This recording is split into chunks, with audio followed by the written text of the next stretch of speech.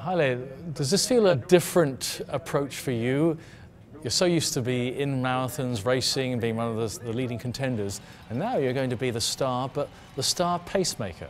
When I heard the athlete, you know, the one they take part, you know, this London Marathon, when I check, you know, just the statistics, hey man, oh, this is a big chance, you know, just to run next to them.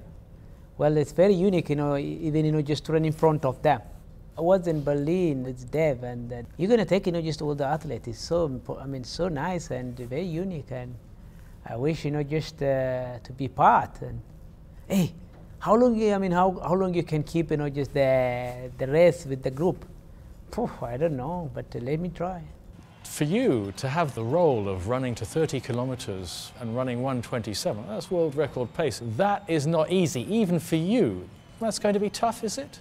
Know, just what I keep in my mind, like uh, 20, I mean, like 1430 for the first 5K and. Uh, uh, 29 minutes for uh, 10k, kind of like that. Otherwise, very difficult to run for time. Of course, uh, those uh, youngsters, they are very good and strong. My shape, not so bad. Maybe it's not a world record shape, but it's good enough for pacing.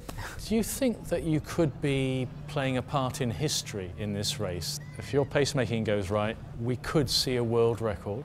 When we talk about the world record, the course, the athletes themselves, uh, everything has to be perfect. And uh, I wish, you know, just to see a world record uh, by pacing uh, this. Uh, you know, even, you know, not only pacing, you know, by uh, plusing, you know, just good luck.